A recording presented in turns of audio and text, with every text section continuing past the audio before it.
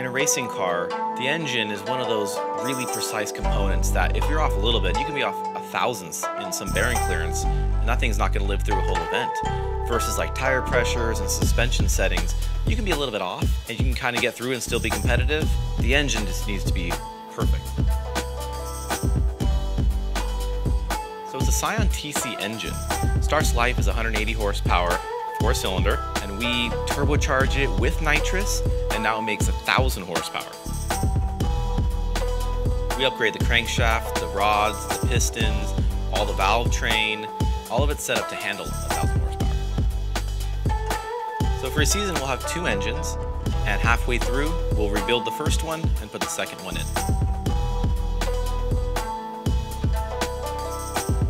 Some of the normal wear items are bearings, rings, uh, each year we'll put new pistons in the engine, but crankshaft, rods, a lot of those parts, they'll go seasons.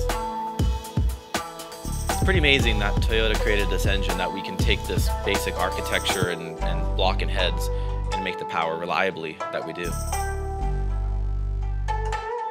I'm Stephan Papadakis, and I'm manager of the Rockstar Energy Drink, Hankook Tire, Scion TC.